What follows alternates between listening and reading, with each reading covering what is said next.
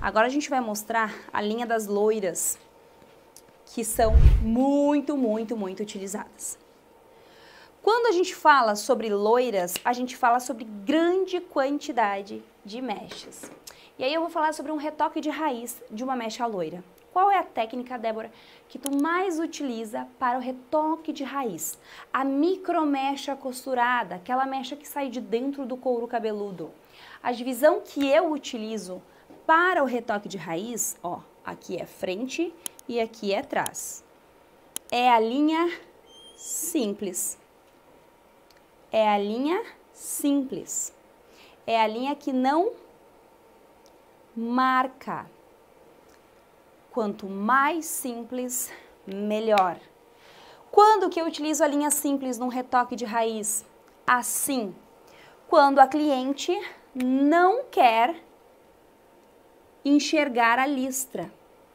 Quando a cliente não quer aquela listrinha dividida, assim, ó, dividida, dividida no cabelo. Se eu faço uma divisão de topo no cabelo, eu vou criar dois lados. E quando o cabelo se divide, ele fica uma listra para cada lado. Mesmo que micromechas, a listra aparece. Há um tempo atrás, quando eu comecei a fazer mechas, eu fazia assim.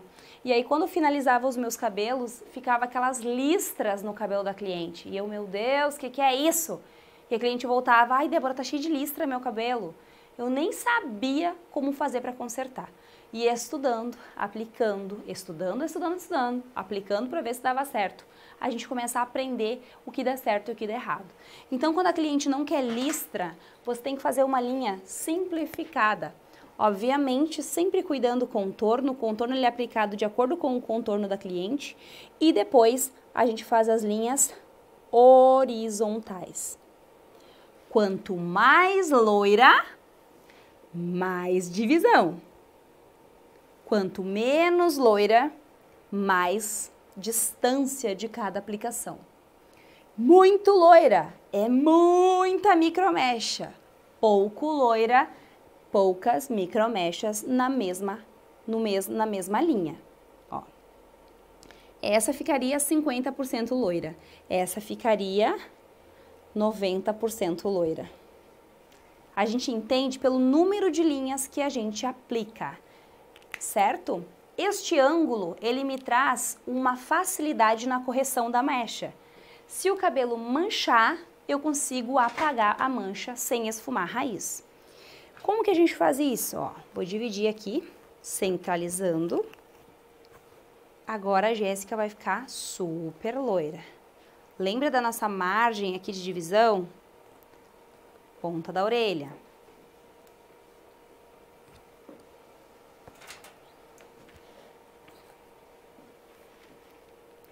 Topo até a parte de trás da orelha. Não faça divisões mirabolantes, tá? Já aprendi com muita gente a fazer divisões mirabolantes e achava que eu era o problema. Não, o problema era o tanto de grampo que as pessoas botavam na cabeça da pessoa. A cliente ela fica mais cansada na hora da divisão do que na hora da aplicação. Então, não exagere na quantidade de grampos. Não precisa, tá? Lá quando a gente começa na escola de cabeleireiro, eles ensinam a colocar 150 grampos na cabeça da cliente. E a cliente, no dia a dia, não é prático, não é rápido, não é ágil. Então tem que ter esse bom senso. Aqui eu vou fazer três divisões, porque eu quero muito loira. Quanto mais loira, mais detalhes, mais divisão na parte de trás, porque tem muito cabelo. Vou dividir e já mostro pra você, tá? Então, essa é uma técnica utilizada para retoque de raiz, micromechas costuradas, ou até mesmo fitas. Quando a gente faz a fita sem costura, a cliente fica pá, muito loura, muito loura. Fica linda. Ó, essa é a divisão simplificada. Olha que simples centro, lateral, lateral. Na parte de trás eu fiz três para ficar a mechinha bem organizada, tudo em horizontal, bem bonitinha, retinha. Aqui a mesma coisa. Tira contorno, contorno, contorno, contorno sempre separa, porque se a gente não tira contorno nessa aplicação aqui que eu faço, o que vai acontecer? Pode gerar um escurinho perdido aqui na frente. E a cliente que quer muito loira, ela não quer que sobre um escurinho novinho perdido. Ela quer muito loiro. Então, separe o contorno. Sempre tá, trate o contorno como um, uma técnica separada. O contorno é regra em qualquer aplicação.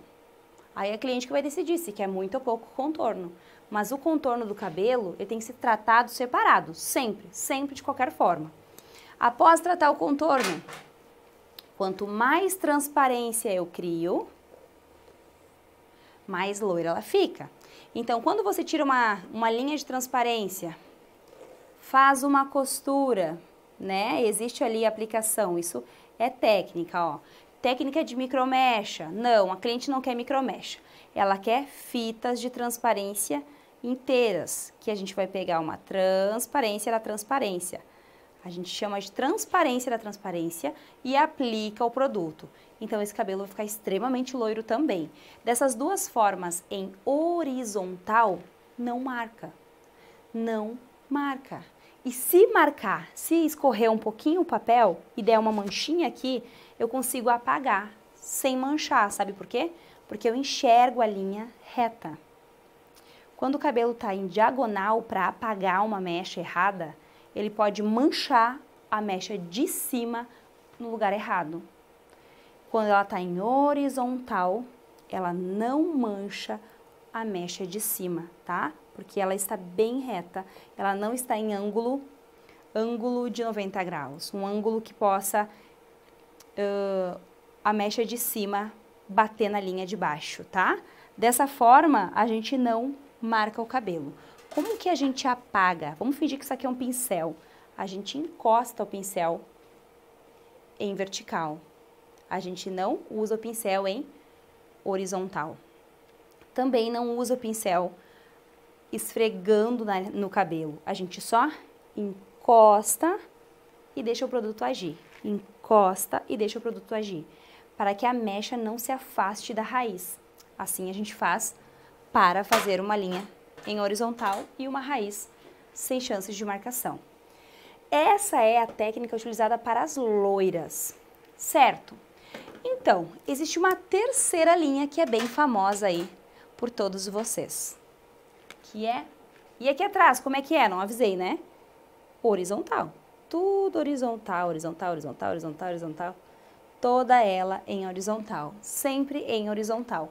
A horizontal faz loiros esplêndidos, maravilhosos.